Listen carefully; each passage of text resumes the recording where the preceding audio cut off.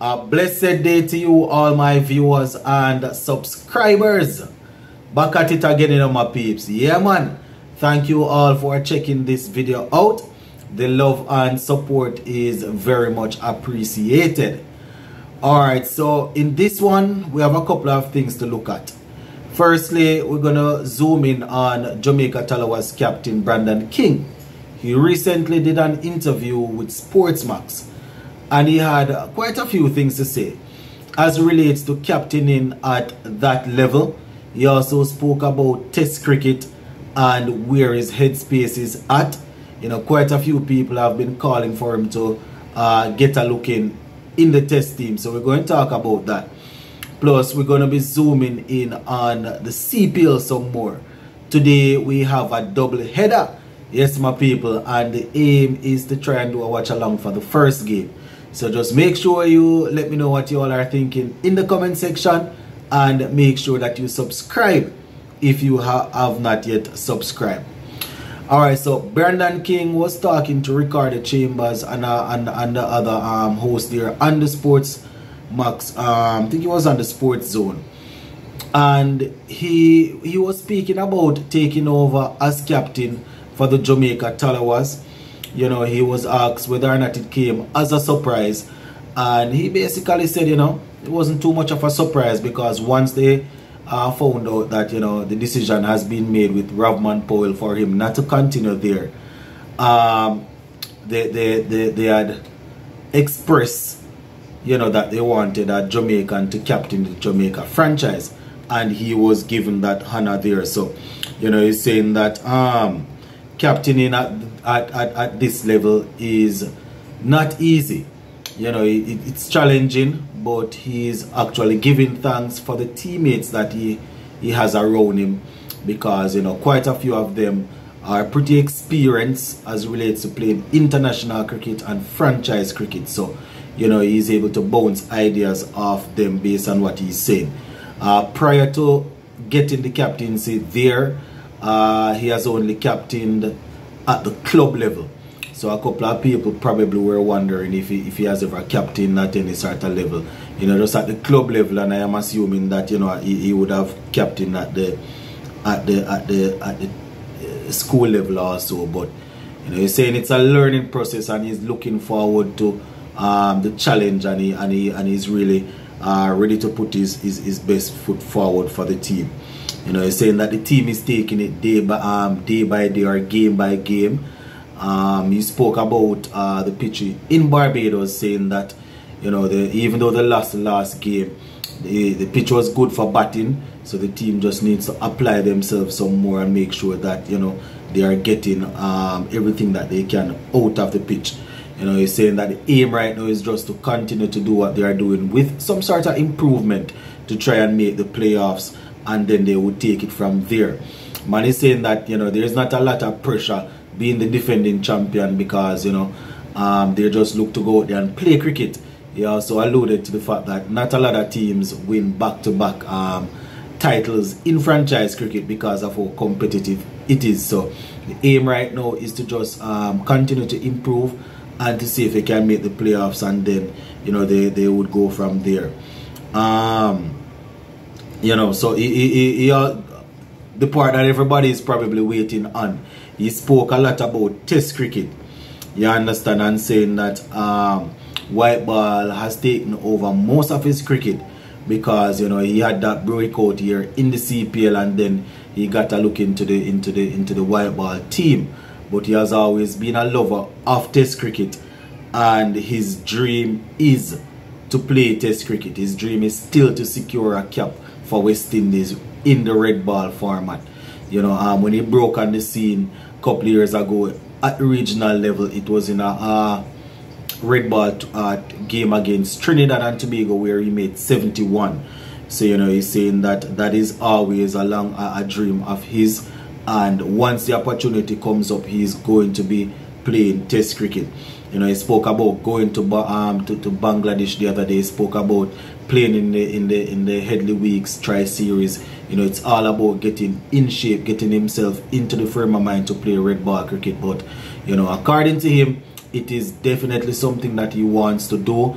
It's just that you know there are certain things that he that, that he needs to improve on and he needs to make sure that um, he adjusts uh, whenever he gets the opportunity because you know in red ball cricket the ball tend to move move around a little bit more and you know the technique has to be solid and and, and, and all of that.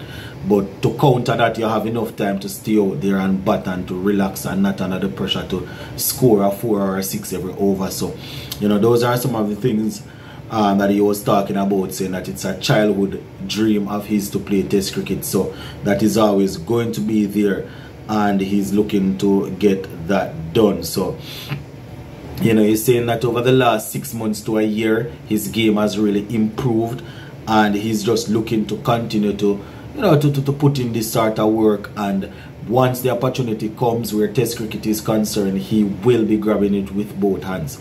You know he, he said that the white ball schedule is so tight around the world right now.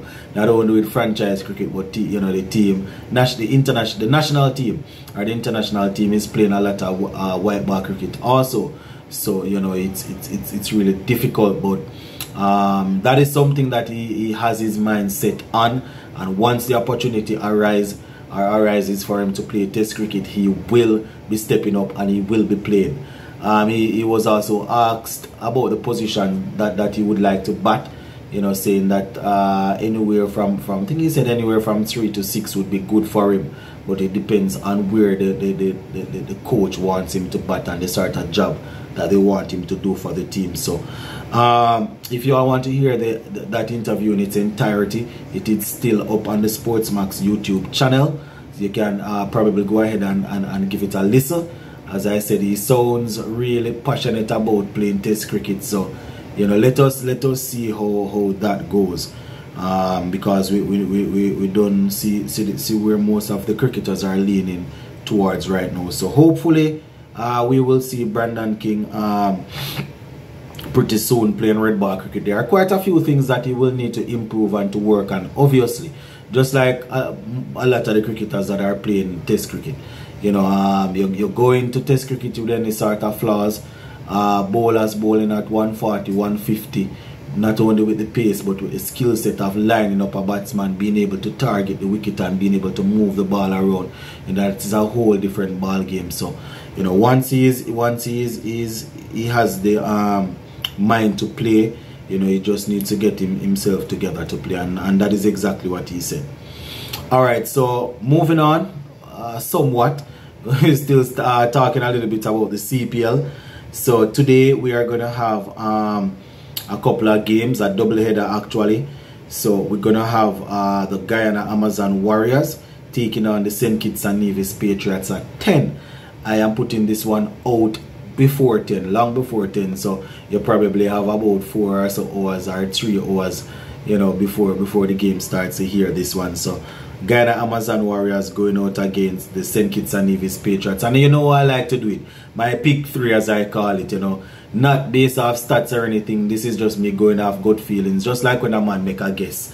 I am just, if, or, or when yesterday said they have their, um, whichever players they think going, going dominate. So for the Guyana Amazon Warriors, I am backing, um, I am backing Chanderpaul Hemraj to come good in this game, you know yeah man, if they don't drop him, I am backing him to get some runs in this game. Uh, Romario Shepherd, as you know, is an X factor. Shai Hope always going to do his thing. Gudakesh Motie. Quite a few guys on here that are expected to do them thing. But, you know, I'm to go to, left field, as they would say, and I'm to select Chanderpaul Hemraj to, to, to, get, to get the job done. Um, for uh, this time for, for his team. Romario Shepherd as usual to do his thing and um, Hope once again to, to, to, to, to do his thing. Right, so that is the, what I'm selecting for that team. Uh, for the St. Kitts and Nevis Patriots, the captain now is Sherfane Rutherford, and I am backing him to play a very good innings once again. Um, he played a good innings the other day after taking over. Um, Dominic Drakes is also going to be good for them. Uh, and uh, Andre Fletcher to bring up a half century this time around, you know. Not only go there and play a couple of no look shots and um, sixes and, and thing, you to actually get a half century and push it uh, um, for, for his team, you know. Uh, in the evening at 8 p.m., don't know why we're having the games this late. The Barbados Royals will be playing the St. Lucia Kings, and that's going to be an interesting one right there for the Barbados Royals. Um, Alec Arthur is to spark again you know um, and and and um, those who have been following this channel will know that I'm not jumping on the bandwagon where the youngster is concerned but I have him to do well again in this one and I have uh, the big rock the big rock um, to, to, to, to do well you know and um, you know let me see where else we can we can go for um, I wonder if Obed McCoy going to finally give us a good four overs and take some wickets. Going to take a chance on Obed McCoy and, uh, and work with him. Alright, for the St. Lucia Kings now, we're going to go um, Sean Williams to get a good knock. Uh, we're going to go, who else now? Who else we going to go with again? Um, they wouldn't even give Javier Royal a game so we can drop him in it, you know. Good, good, good little spinner. Um, Roston Chase, we don't know Roston Chase thing already. Um, usually performs for his team. And Jair McAllister, hopefully he gets a game. Don't know if he's going to get a game, but if he gets a game, I'm giving him the, the, the, the the, the nod to really get get get get the thing going. And Colin Munro if he comes straight in. So that is how it is looking for um, those couple of games. My peeps gonna leave this one right here for now. Sports to the bone. Keeping you informed big up